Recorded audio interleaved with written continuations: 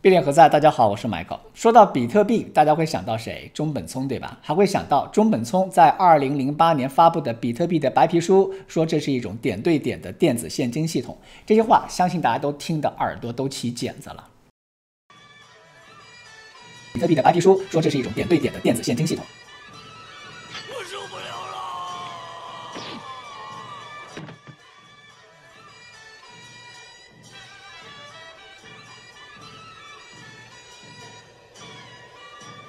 比特币的白皮书说这是一种点对点的电子现金系统。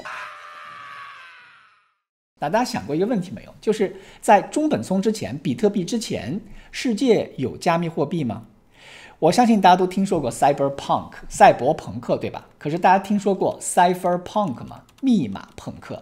相信很多人不太清楚的是，正是因为密码朋克运动的诞生，才有了比特币的诞生。那说到这个 cyberpunk 呢，密码朋克运动起源于七十年代，但是它真正的火爆是在九十年代。那九十年代发生了什么事情呢？那个时候呢，美国政府试图要限制大家在数字世界里的自由，所以很多这个密码朋克就开始为政府争取这种自由的权利。所以 cyberpunk 顺便也开启了现代的人的个人隐私权的定义。基础的理念的讲解，看似和我们赚钱没有太大的关系。可是大家要知道一句话：什么叫熊市播种，牛市收获？在熊市当中，我们现在只有沉淀下来，好好去学习和我们这个圈子相关的知识，知道比特币背后的这些密码学到底发生了什么？为什么它可以值得我们信任？为什么比特币不会归零？为什么它未来会越有价值？那只有知道了更多的底层逻辑之后，才能更好的了解我们在市场当中，我们拿到手里的这个数字资产到底有没有价值？您说对吗？所以希望大家沉淀下来啊，我们一起来慢慢的梳理这个世界当中越来越多的冷知识和它的底层逻辑。那今天呢，就让我们沿着时间的轨迹，给大家来详细科普一下，在比特币发明之前到底发生了什么。我们一起来收看我们今天的币链专题，我们的连载。比特币前传第一步。好，我们首先来看一下七十年代公钥密码学技术的一个创立。虽然说从现在来看呢，七十年代那个时候，不管是照片也好，视频也好，都是一个模糊不清的年代。但是大家要知道，密码学在七十年代这十年，对于它今后四十年的井喷式的发展，是一个奠定基础的一个作用。所以，七十年代密码学主要运用的是军方在使用一些加密的通信技术，它的主要研究呢都是由情报机构，比如说 GCHO、NSA 等等这些机构，或者呢像 IBM 这种获得了政府或者军方许可的研究室来进行研究的。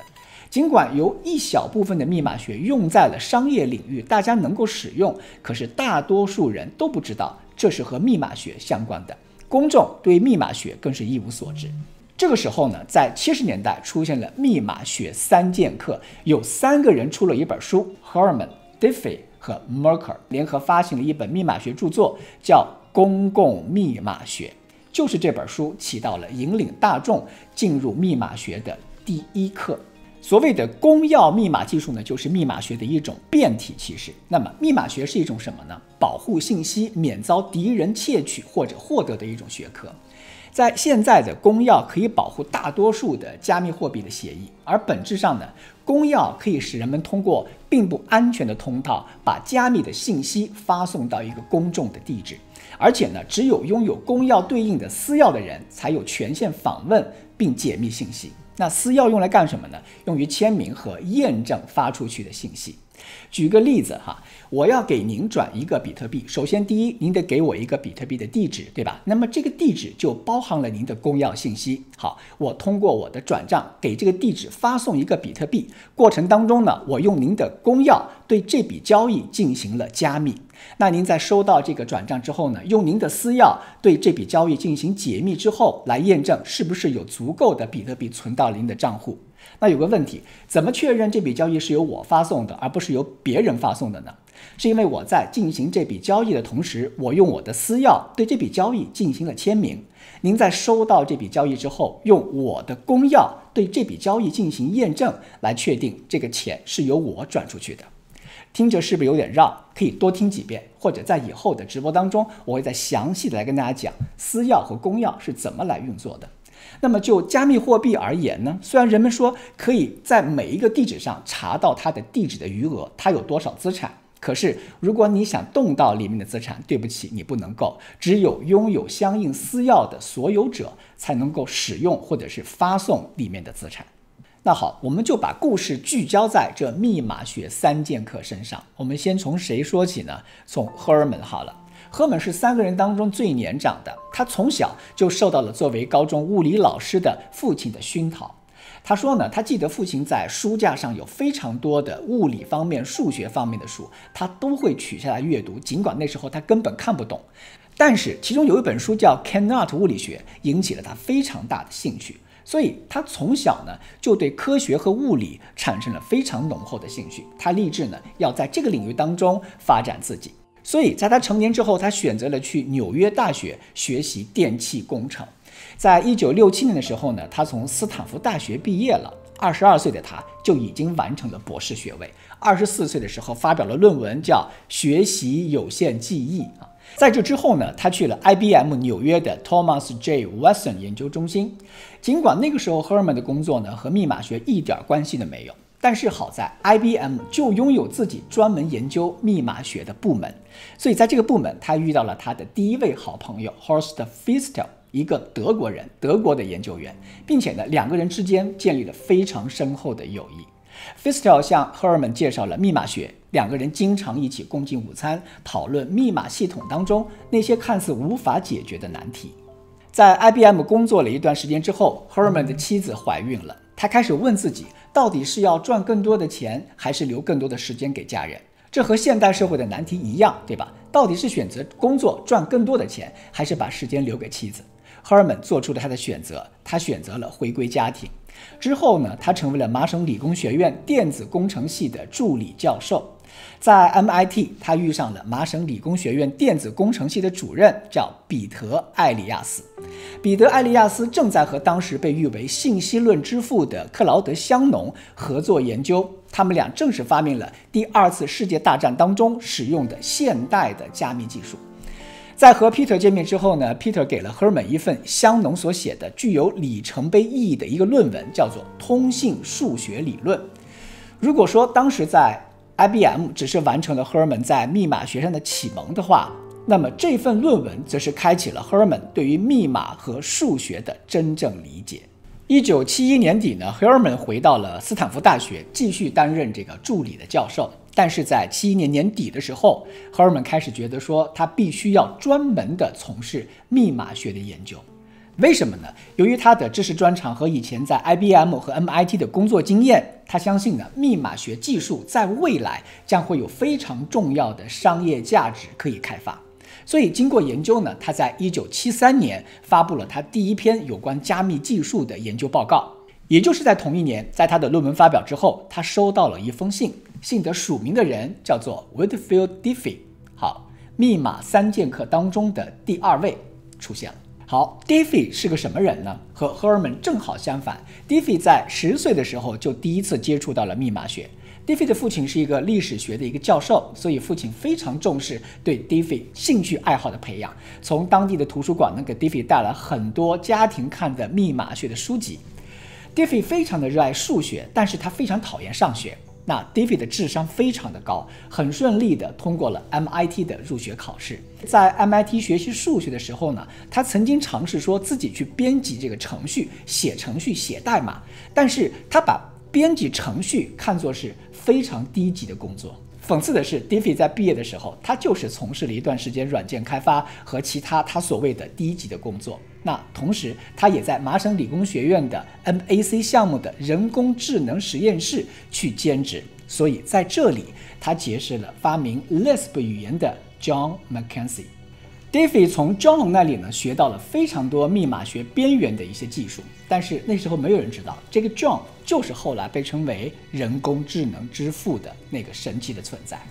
在 John 的指导下呢，David 开始接触了计算机哲学，并对网络和电子密钥身份验证有了非常深刻的理解。在一九七四年的时候，Diffie 访问了位于约克顿高地的 IBM Thomas Weston 实验室，那么和密码学的研究团队会面。而当时负责该实验室运行的人就是 Horace Feistel，也就是引导 Herman 进入密码学的引路人。就在 Diffie 当时来访实验室的时候呢，他的很多学术上面的研究并没有得到国家级的认可，特别是美国国家安全局。那么，国家安全局在收到 Diffie 的相关的学术论文的时候呢，只是把它转给了斯坦福大学从事密码学研究的教授 Herman。所以，Herman 在2011年接受媒体采访的时候说：“他说我们俩认识是在1974年的秋天，我和 Diffie 相见，我永远不会忘记这一天。” It was just such a meeting of the minds, and it was so nice to find someone who didn't think I was crazy. 后来，Herman 和 Diffie 合作发表了一篇名为《多用户密码技术》的技术论文。由于这篇论文，又让他们认识了 Larf Mocker，也就是大家非常熟悉的默克尔树的命名者，一个二十二岁来自伯克利的计算机科学的学生。至此，密码三剑客全部到齐。默克尔这个人呢，值得我们好好说一说。那在遇见赫尔曼和迪菲之前呢默克尔其实已经在研究他的公钥、密钥加密的一个问题。之所以他后来被称为默克尔谜题，就是因为他非常出色的研究。他在计算机科学 CS 二四四课程上开始研究他的想法，在那里呢，他偶然发现了一个谜题，也就是说，如果你的敌人已经掌握了信息传播的所有通道的时候，我们如何用已有的通道、暴露的通道来建立安全的信息的传输，也就是说，进行加密的传输。由于当时没有任何密码学的理论和历史的知识，所以 Mocker 并不知道这个问题是如何被认为是无法解决的。所以他把这些问题写在一张纸上，和同班同学和老师一起来探讨和分享解决方案。那么，默克尔的安全课程的班主任认为说无法理解你的工作，你的这个假设根本就不成立，所以他让默克尔滚蛋了。而默克尔并没有就此放弃，所以他把他的研究的结论和他的这个课题给了一个杂志，叫 CACM，一个很受尊敬的计算机的科学杂志。当然，这一次也被拒绝了。不过，拒绝的理由不是因为这个议题毫无意义，而是因为编辑认为说他的所思所想、他的研究内容根本就不是当下密码学的主流思想。It meant that this really was a good idea. 其实，默克尔还和一名叫做彼得·布拉特曼的计算机的科学家分享了他的研究报告。那么，这位科学家立刻就注意到了默克尔工作的价值所在。但默克尔不知道的是，这位布拉特曼科学家就是 Diffie 的朋友。在 Diffie 邀请这位科学家去斯坦福参加密码学会议的一次乘车旅行当中呢，布拉特曼简要地概述了默克尔正在解决的问题。显然，Diffie 多年来也被这个问题一直所困扰着。在听说某个非常年轻的计算机科学的学生可能已经解决了这个问题的时候，Diffie 突然就爆发了，他很生气。大家可以想想这种情绪：一个成熟的科学家、知名的科学家所研究多年的问题，居然被一个学生轻而易举地解决了，这不是证明了自己非常的笨、非常的无能吗？但是当 Diffie 再次冷静下来，开始审视解决方案的时候呢，Diffie 感觉到非常的兴奋，因为在当时呢，Herman 和 Diffie 两人共同研究了一篇论文，就是在解决假设公钥密钥可以工作的情况下，如何在不安全的范围之内来传输加密的信息。所以在了解了 Merker 的解决方案之后，Diffie 给了布拉特曼一份他的研究报告的副本，让他转交给 Merker。当默克尔看完了两位密码学前辈的作品之后，默克尔决定把他的论文寄给两位老师。而当两位老师读了他的论文之后，他们的思维方式完全的改变了。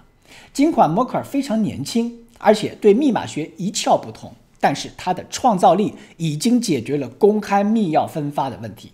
这位二十三岁的年轻人，成功的实现了学者们多年来努力而不得的目标。但是，Herman 和 Diffie 发现他的解决方案有一个问题，就是效率低下。由于他们对密码学的充分理解，他们找到了一个更紧凑的密钥分发解决方案来解决 Merker 的问题，并且提出了一种新的公钥密码学。很快呢，他们的概念被写成了一篇论文，命名为《密码学的新方向》。在这三个人合作之后呢，默克尔去了斯坦福，接受了 Herman 的邀请，成为他手下的一名博士生。一九七六年的十一月，密码学的新方向正式发布了。他们讨论了密码学、公钥密码学和促进认证通信协议的基本问题。默克尔因为独立的工作而受到了赞誉，但是最终通信协议还是被命名为 Diffie-Hellman 密钥交换算法。尽管如此，在一九七七年的时候，当公开密钥获得专利的时候，默克尔被认为是三个发明者之一。Diffie 认为默克尔可能是公开密钥传奇中最具创造力的人物。这本密码学的新方向是第一次公众可以接触到的最强大的加密技术，而且他们可以知道如何将加密技术、如何将密码学使用到我们具体的生活当中，会明白这将会对我们未来的生活和技术的发展产生什么样的变化和走向。所以，当政府知道有《密码学新方向》这样一本书问世的时候，第一个反应就是要设立秘籍，不能让公众得到和了解相关密码学的知识。我们能够在这里开设一个频道来讨论相关的密码学知识，讨论加密资产，都是由这本书的启蒙开始的。其实后来呢，又有消息透露说，Horman、Diffie 和 m o k e r 其实可能并不是公开密钥算法的第一个的创始者。有消息说呢，英国情报机构 GCHQ 的研究人员最初就创立了这种算法，并且实际的应用了这种算法。虽然说国家安全局能看到一些信息，但这些信息都是保密的，无人知晓。所以从现在来看，假设这三个人如果从来没有碰面，从来没有公开过任何公钥加密技术的话，我们的世界可能会完全不同。Herman、Diffie 和默克尔的出版物成功的激发了新一波的创新浪潮，而这种浪潮是基于密码学为基础的。比特币就是在这个浪潮当中而诞生的。而政府对于密码学的控制，也凸显了科学家们进行分布式协作工作的重要性。我想，这就是最早期的代码开源的必要性的认知，不能让有作恶可能性的人掌控话语权。密码学的新方向这篇论文的第一行开头就说明了一切。他说：“我们今天正处在密码革命的边缘。”当 Herman Diffie 继续研究着密码学的时候，Merker 也在继续着他的工作。在七十年代剩余的时间里，Merker 作为 Herman 和 Diffie 的学生，继续在八十年代影响着整个密码学的走向。后来又发明了密码散列，也就是今天我们非常熟悉的哈希加密。以上三位密码学家打破了密码学的障碍，让密码学进入了公众，影响了整个八十年代。而就在八十年代，出现了另外一位密码学家，他叫大卫·乔姆。那么，大卫·乔姆做出了怎样的贡献，又会对密码学带来什么样的推进呢？我们下回再说。明晚不见不散。